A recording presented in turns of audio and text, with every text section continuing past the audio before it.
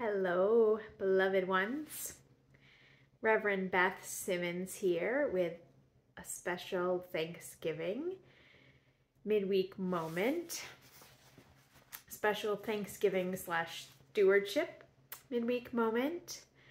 Um, I missed you all last week when I was on vacation and missed those of you who were in worship on Sunday when I was uh, got a bonus uh, day away because um, we had lots of sickness in my home. Um, but um, so I heard that Amy did a wonderful job uh, sharing some thoughts on the parable of the talents. And um, and she did not post those because they were not hers, uh, her thoughts. Um, they came from Sermon Seeds, uh, which is a UCC publication. So, um, so that's why we didn't share them because they were not original thoughts. Um, but I wanted to just take a moment. Um, this coming Sunday is what we call Stewardship Sunday, the Sunday where we gather in our pledges of financial support for the coming year pardon me, my allergies are a little bit uh, haywire today. Um, and I've been thinking about that opportunity in conjunction with that parable from this past Sunday. So if you don't know the parable of the talents, um, this is comes at the end of Jesus's ministry. He is describing the end of times and what what that might be like describing in sharing stories about the end of times how we are to live in the now times. And so he tells a story about a man who goes away and he leaves his servants, his slaves in some translations, and he gives uh, each servant according to their ability. And so he gives one five talents, so a monetary amount. He gives another two and another one. And the one with five talents goes out and invests it and uh, reaps the reward of another five talents. So the second one goes out, invests the two, and gets two more back. And the third one takes the one and buries it. Does nothing with it.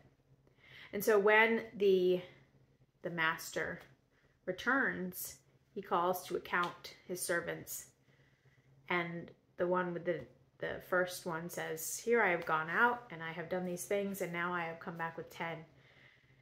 And the master says, Ah, well, well done, good and trustworthy servant. You shall uh, reap the rewards and and live in your master's delight. Again, I'm paraphrasing.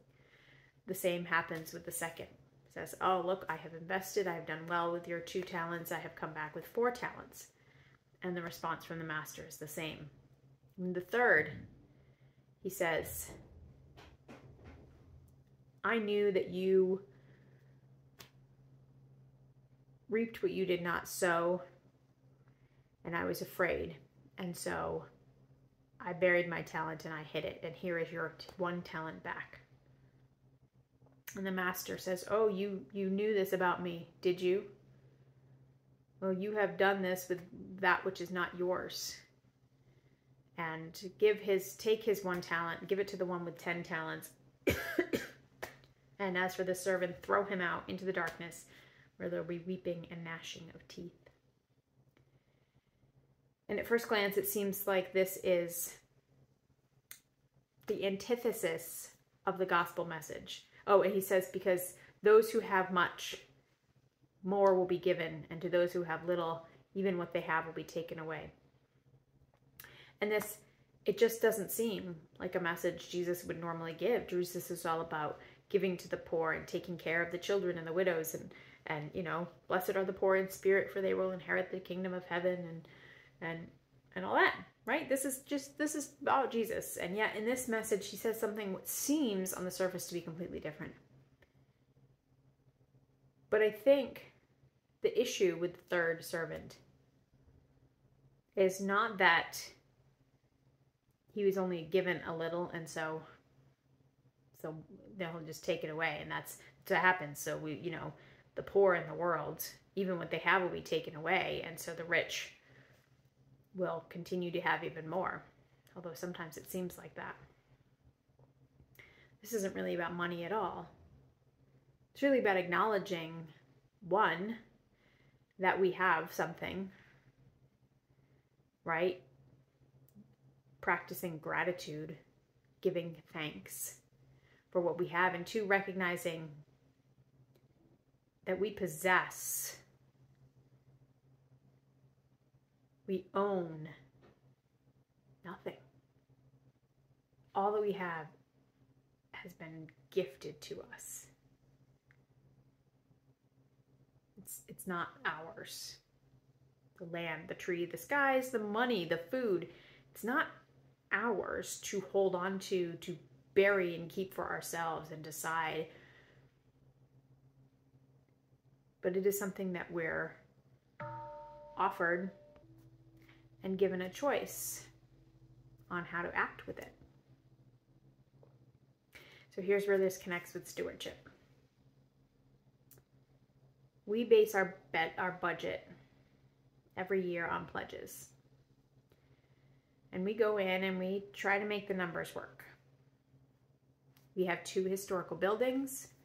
One of them is half owned by the town, and so we get assistance, and thank goodness for that, that we share that responsibility because we probably wouldn't be financially solvent if that were not the case, which happens to many churches with historical buildings.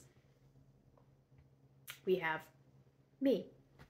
Uh, I'm probably, I guess, aside from the vestry, the basic, basic, biggest expense that the church has, right? A pastor uh, with a salary. Um, and we have the ministries of the church. We have Sunday school. We have uh, our child sponsor. Sponsor. We have um, other ministries, um, and they cost money.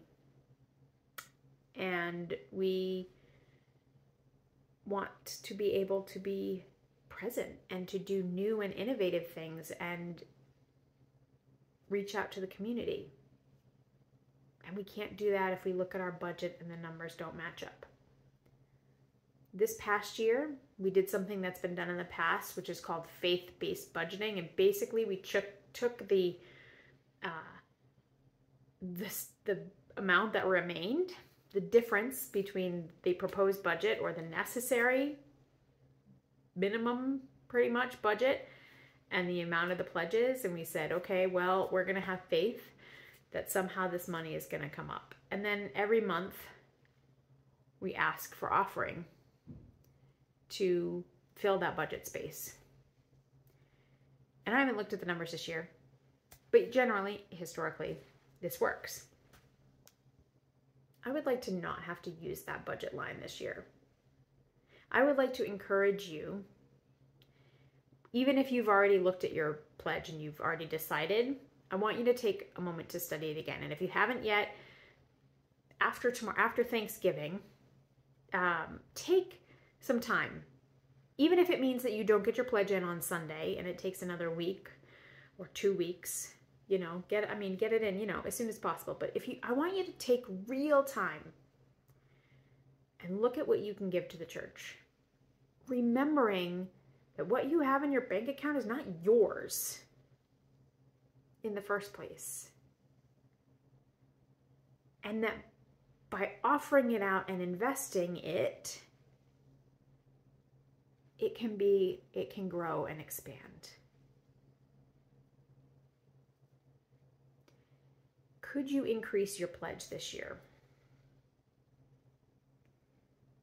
If you've never pledged, have at it. But if you have, if you historically pledge, could you increase? And I know inflation is horrible. Grocery prices are through the roof. Lots of us in our congregation are on fixed incomes. Totally get that. But if 20 people or households increase their pledge by $1 per week, 20 people, 20 times 52. That's a good chunk. What if you increased it $2? $5? What if you let's think of one. One, you are one person. You one person can make a difference. Increase it by $1 a month. Increase it by $100 a year. Increase it a $1,000 a year. Consider how much you usually give on those faith based offering Sundays. Could you just add that in to your monthly pledge? If you forget sometimes and have to catch up and it gets really hard, could you set up automatic giving? I did that this year through Tithely and it has made all the difference. I've not missed a pledge once because it just, even when I'm on vacation away, it automatically deducts it just like Netflix and Spotify and any other services we have, and propane. Could you bump your pledge up by 1%? Could you edge a little bit closer to giving 10% of your income? Maybe not. But I would like to encourage you to stretch yourself a little bit, not so that it's painful, but so that you notice it.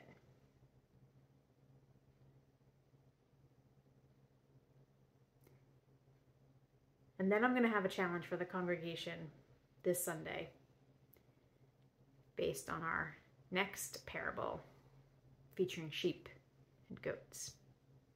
But first, I want you to really, really sit with God. Write it down if you need to. Prayer, how much should I give God? There's my finances, here's my monthly, do whatever. Take a walk outside, see what comes to you. Look at your bank account. Just hold your pledge card in your hand. Whatever you need to do to sort of discern the Spirit's movement and what you can pledge this year.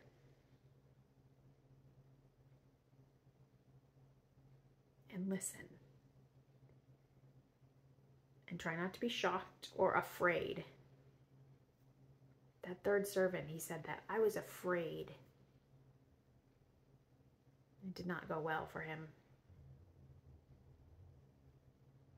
How much of an increase, how much abundance showed forth